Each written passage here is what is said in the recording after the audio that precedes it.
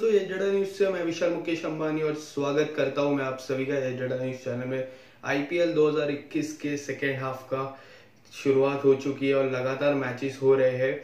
और कल एक बहुत बड़ा मुकाबला खेला गया था, Punjab Kings versus Rajasthan Royals के बीच में।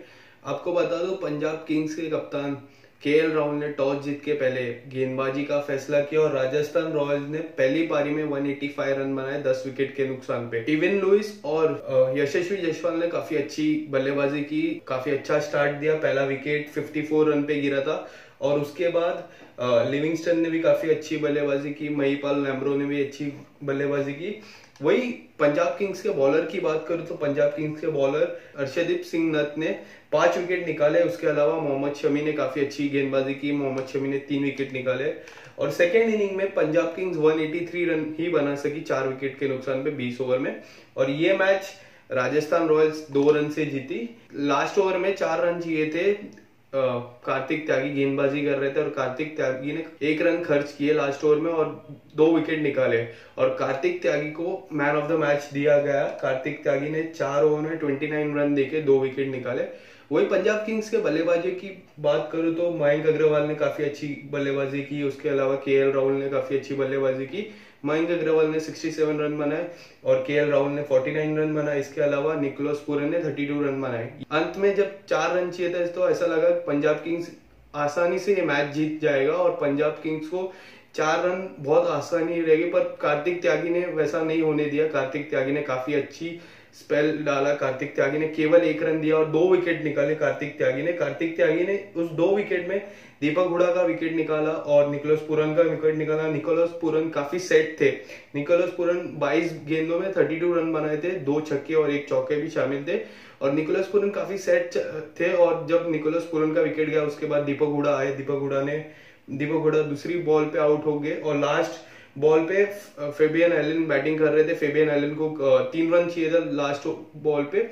और फेबियन एलन ने भी डॉट कर दिया बॉल और ये मैच राजस्थान रॉयल्स जीत चुकी। जिस तरह से राजस्थान रॉयल्स ने ये मैच में कम किया, काफ़ी शानदार कम किया। और किंग्स इलेवन पंजाब जो लगातार मैचेस ऐसे ही हारती जा रही है आईपीएल 2021 के फ़र्स्ट हाफ़ की बात करूँ तो आईपीएल 2021 के फ़र्स्ट हाफ़ में भी पंजाब किंग्स ऐसे मैचेस काफ़ी हार चुकी है। वही राजस्थान रॉयल्स की बात करूँ तो राजस्थान रॉयल्स ने काफ़ी अच्छा कम किया। सनसन ने अपने बॉलर्स की काफ़ी तारीफ़ की, अपने बल्लेबाजी की भी काफ़ी तारीफ़ की। पंजाब किंग्स के कप्तान की बात करूँ तो के राहुल ने कहा कि हम इससे बेटर फिनिश कर सकते थे।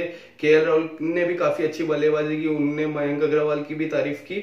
और आज के मुकाबले की बात करें तो आज का मुकाबला बहुत बड़ा मुकाबला है Sunrisers Hyderabad versus Delhi Capitals के बीच में। सनराइज हैदराबाद की बात करो तो सनराइज हैदराबाद से काफ़ी बदलाव देखने को मिल सकते हैं। वही दिल्ली कैपिटल्स की बात करो तो दिल्ली कैपिटल्स के सबसे बड़े बल्लेबाज श्रेयस अय्यर आज मैच में देखने को नज़र आएगी। बट वो एज अ प्लेयर नज़र आएगी, वो कप्तानी नहीं करेगी, क्योंकि दिल्ली कैपिटल्स चाहती है कप्तानी ऋषभ पंत करे। ऋषभ पंत ने आईपीएल 2021 के फेस वन में काफ़ी अच्छी कप्तानी की थी। तो वो चाहते हैं कि आईपीएल फेस टू जो हो रहा है, वो उसमें उसमें वो कप्तानी कंटिन्यू करे, वही सनराइजर हैदराबाद की बात करें तो जोनी बेस्टो नज़र नहीं आएगी। जोनी बेस्टो उनके सबसे टॉप बल्लेबाज थे, उसके अलावा डेविड वार्नर आपको नज़र आ सकती है मैच में। सनराइजर्स के कप्तान केन विलियमसन नज़र आ सकते हैं राशिद खान नज़र आ सकते हैं मोहम्मद नबी भी नज़र आ सकते हैं बट मोहम्मद नबी और चौथे फॉरेन खिलाड़ी पे अभी भी चर्चा रहेगी कौन सा चौथा फॉरेन खिलाड़ी हो गया। उसके अलावा आपको Kane Williamson David Warner Rashid Khan नज़र आएँगे। वही दिल्ली कैपिटल्स की बात करें तो दिल्ली कैपिटल्स में क्रिस वोक्स नज़र नहीं आएँगे। मार्केट टॉनिस नज़र आ सकते हैं। उसके अलावा दिल्ली कैपिटल्स में काफ़ी बदलाव भी नज़र आएँगे इस साल। बट ओपनिंग साझेदारी की बात करें तो पृथ्वी शॉ और शिखर धवन ही ओपनिंग करेंगे। शिखर धवन काफ़ी अच्छे फॉर्म में है। शिखर धवन अभी रंगेटर की बात करो तो सेकंड नंबर पे है। तो वो फ़र्स्ट भी हो सकते हैं। के राहुल अभी फ़र्स्ट में जो जिन्होंने कल काफ़ी अच्छा प्रदर्शन किया था। उस वजह से वो ऑरेंज कैप के होल्डर के फ़र्स्ट पोजीशन पे है। तो क्या होता है इस मैच में? ये बड़ा सवाल रहेगा। अभी के लिए बस इतना ही। यश डेडा न्यूज़ से, मैं विशाल मुकेश अंबानी।